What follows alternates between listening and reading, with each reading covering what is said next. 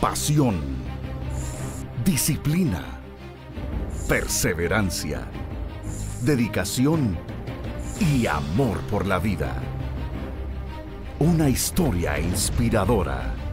Toti Fernández, una persona como nosotros, nos regala una hermosa lección de lucha y entrega por alcanzar sus sueños.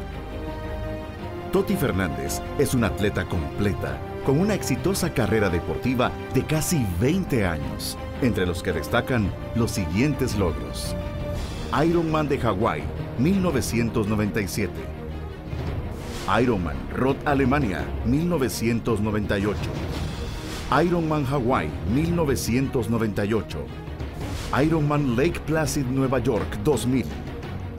Ironman Canadá, 2001. Ironman Western Australia 2007. Nunca en la historia de Ironman había participado una mujer guatemalteca y además con excelente desempeño. La carrera Ironman es una competencia muy anhelada por los atletas de alto rendimiento. Participar en ella es casi una obligación para cualquier persona que practica el triatlón. Por eso decidí inscribirme en una de las carreras más duras.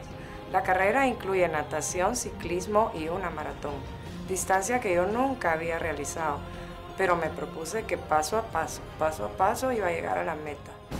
Toti sería la primera mujer en participar y completar el campeonato mundial Ironman en Hawái. Gracias a ese logro recibe el sobrenombre de Chapina de Hierro. En el año 2000 y 2001, Toti culmina su carrera en triatlón al coronarse campeona mundial en Ultraman, la triatlón más larga y exigente del mundo. La competencia se realiza en tres agotadores días e incluye 10 kilómetros de natación en mar abierto, seguido de 420 kilómetros de ciclismo y finaliza con una doble maratón de 84 kilómetros. Participé con muchas dudas de poder terminarla, pero estaba tan fuerte en la natación y en el ciclismo que la doble maratón decidí enfrentarla tenazmente paso a paso, paso a paso.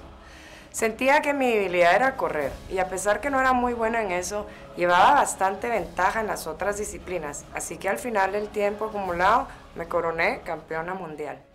Gracias a su destacado desempeño en esta competencia, Toti se gana el reconocimiento y respeto de los demás y hace amistad con un grupo de ultra triatletas canadienses, quienes más adelante le invitan a competir en su próximo gran reto. El Maratón de Sables 2002, una prueba de sobrevivencia a través del implacable desierto del Sahara.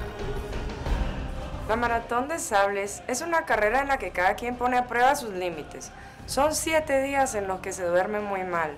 Hay constantes tormentas de arena, hace mucho calor, la arena se mete por todos lados, incluyendo los zapatos.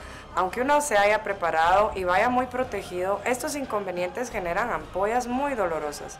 Así que irremediablemente hay que ir a la clínica, pinchar las ampollas y aplicarse vendajes.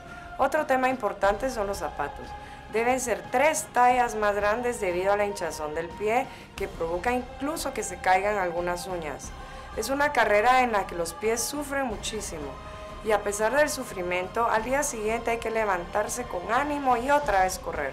Uno va cojeando, pero milagrosamente a los 20 minutos el dolor se va, como si un chorro de adrenalina invadiera el cuerpo, haciendo que uno se adapte. Después de completar varios logros, Toti desea enfrentar nuevos retos, por lo que se lanza de lleno a las carreras de larga distancia o ultramaratón, que superan en distancia a la maratón. Toti escoge Leadville, la carrera que atraviesa el cielo. Es la ultramaratón en la que se enfrenta la mayor altitud, que oscila entre 3.000 y 4.000 metros de altura, en las montañas rocosas de Colorado, Estados Unidos con una extenuante distancia total de 161 kilómetros. En 2007, siendo mamá, Toti decide enfrentarse a un nuevo desafío.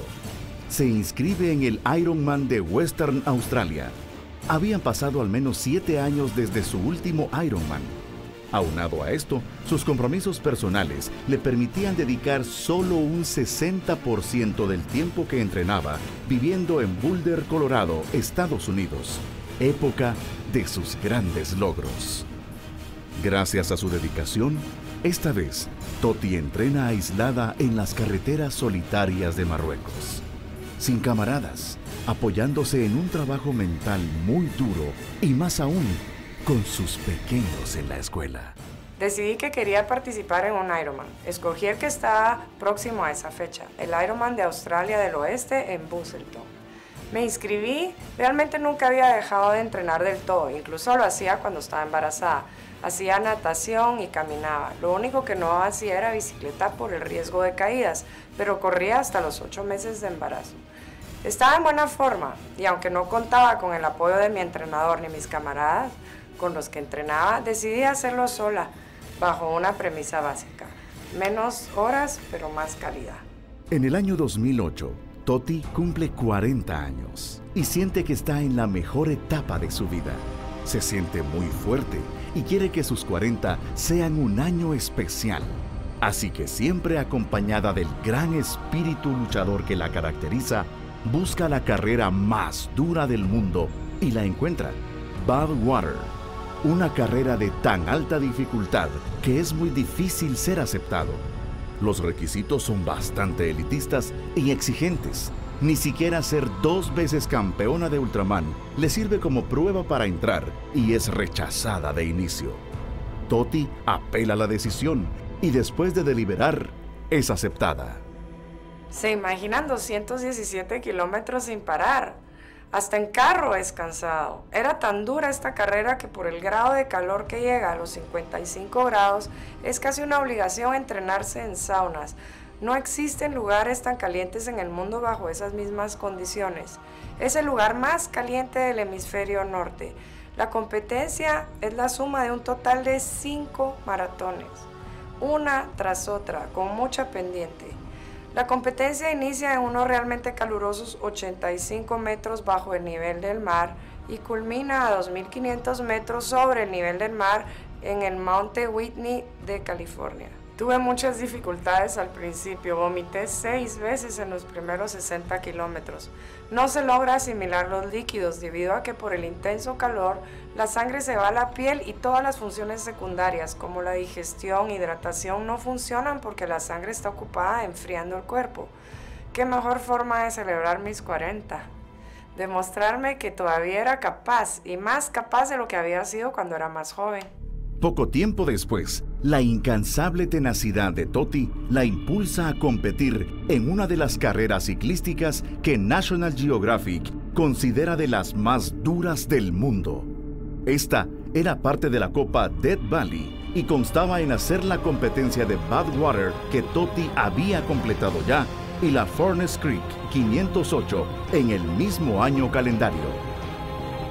Totti destaca en esta carrera colocándose en el segundo lugar con un total de 33 horas y 58 minutos, obteniendo el segundo lugar más rápido de la historia de Dead Valley Cup, Badwater y Furnace Creek, convirtiéndose en la única latinoamericana en haberla completado y en un orgullo para Guatemala. A los tres meses hice una carrera de 819 kilómetros de ciclismo, que era parte de estas dos carreras que formaban parte de la Copa del Valle de la Muerte o Death Valley Cup.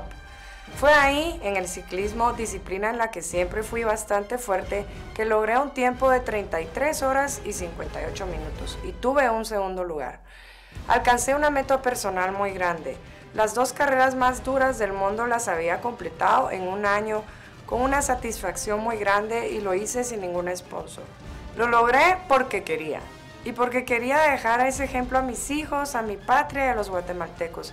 Quería seguir demostrando que uno puede sin importar la edad y demostrar que los grandes logros no son cuestión de suerte, sino una mezcla de experiencia, madurez y sabiduría, la cual uno adquiere durante la vida. El éxito no llega por correr más rápido, llega paso a paso, paso a paso. La historia de éxito de Totti en las competencias de alto rendimiento llegó a su fin. Sin embargo, después de ganar triunfos mundiales y medallas, Toti enfoca sus esfuerzos al deseo de salvar vidas. Con los conocimientos que adquirió en sobrevivencia y su fascinación por el deporte más completo que existe, la natación, Toti crea el programa Baby Survival Swim, un nuevo emprendimiento para dotar a niños de un instinto natural de sobrevivencia en el agua en situación de riesgo. Los niños no están dotados de un instinto de sobrevivencia en el agua. Nadie está libre de accidentes, incluso un niño pequeño.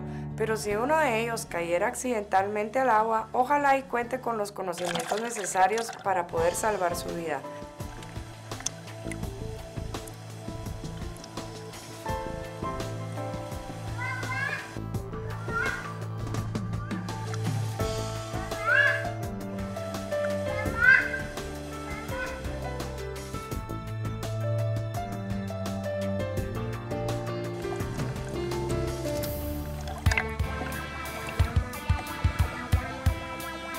Programa lo inicié en Marruecos en el 2006. De los 260 niños que he entrenado, tengo documentado que 8 han caído y han podido salvar su vida gracias al método. Al principio los niños llegan temerosos, llorando, al pasar de las semanas se les ve la evolución.